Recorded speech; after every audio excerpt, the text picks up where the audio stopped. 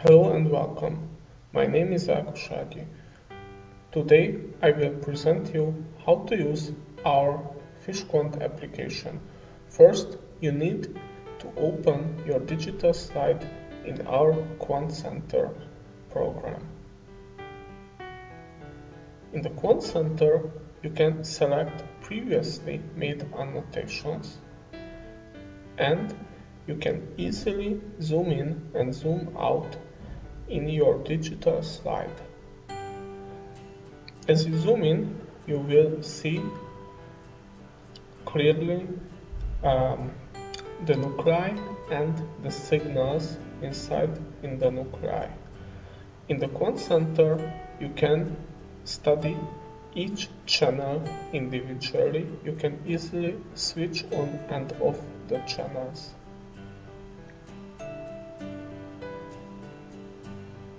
Similarly, you can change between extended focus and between Z-stack view.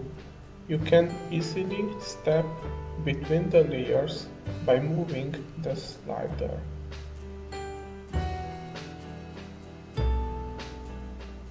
You can also set up the brightness, contrast and gamma if needed. The algorithm will run on the modified image.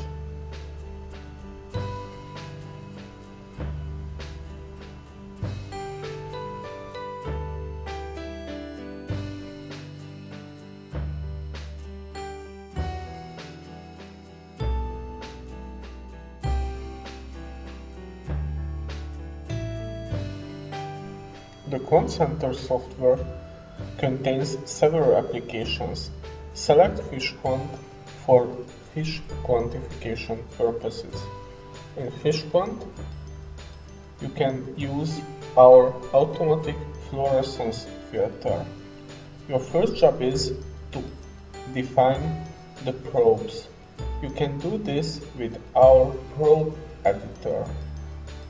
Just click to new then select the operation type and the kind. I now selected amplification here. Then you need to uh, define the name of your gene of interest and the name of your control gene and you can add a name for your probe and you can save it and you can use this probe later for similar digital slides. After adding the probe, you can turn on the preview mask which shows you a preview image of the measurement.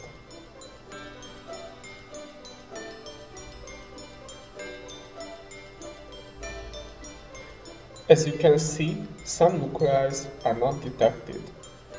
You can modify the minimum nuclei contrast value in order to get a better detection. You can modify the nuclei size value too in order to fine-tune the detection.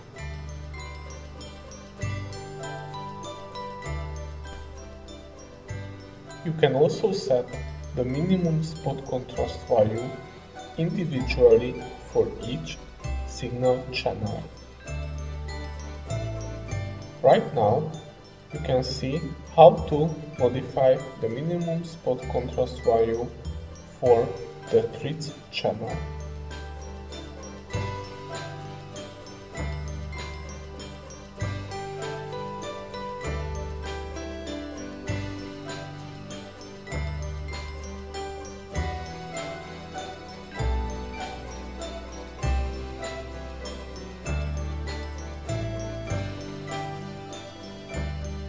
Similarly, you can also modify the minimum spot contrast value for the FITC channel in order to achieve a better spot detection.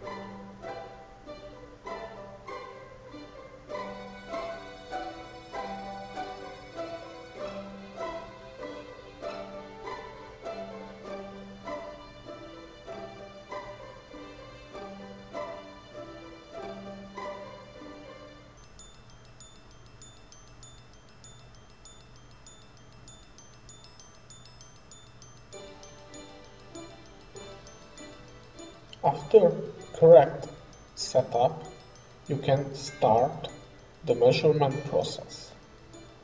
You can start the measurement on a previously defined area or you can make a whole slide measurement. The whole slide measurement takes approximately 6 minutes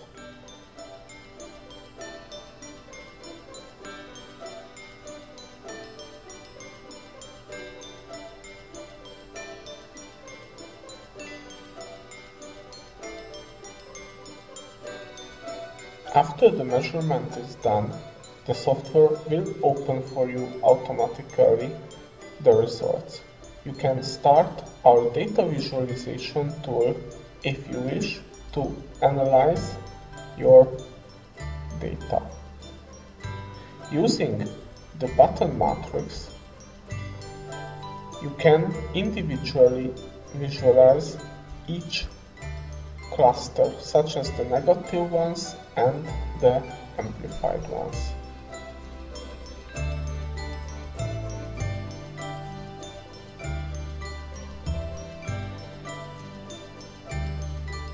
If you click to the pie chart tab, you can visualize your results in a pie chart.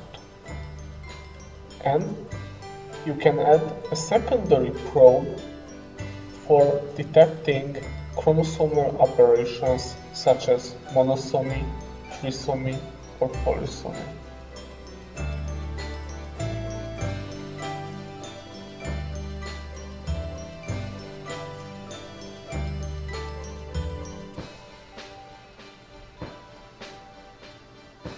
After updating the results, on the pie chart now you can visualize the proportion of chromosomal aberrations in relation with normal and amplified clusters.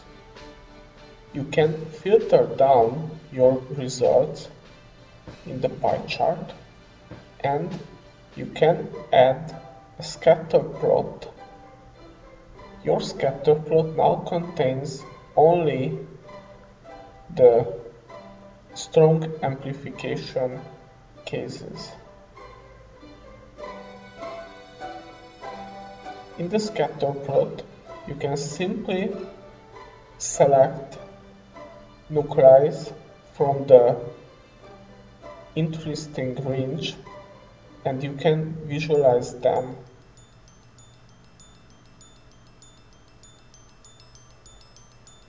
If you think that the software's detection is not okay, you can use our shape editor and simply with your mouse you can draw the borders of the nuclei.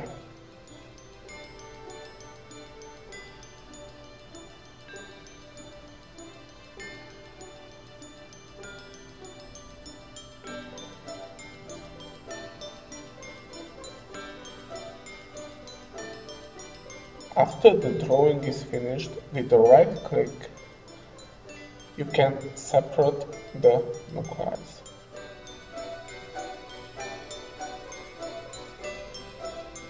If you think that the number of red signals is not correct, you can modify it by clicking to edit fields.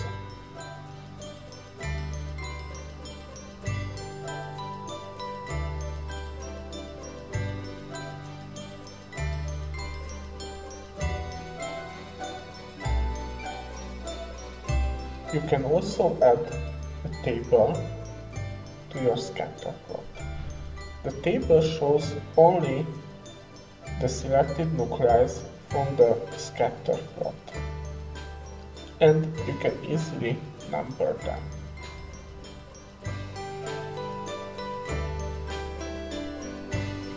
If you select two nuclei from the gallery you can easily visualize them in their original position.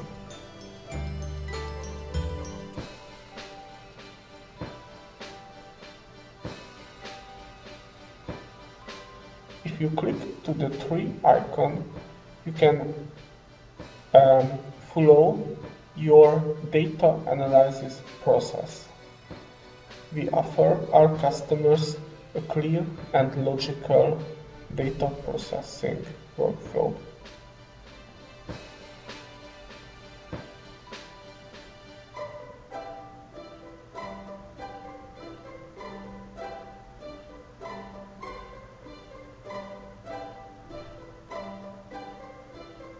you can select some images and you can add these to your report.